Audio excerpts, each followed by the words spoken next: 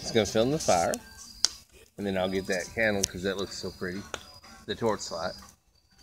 She call it a torch light. Yeah, that's such a pretty fire.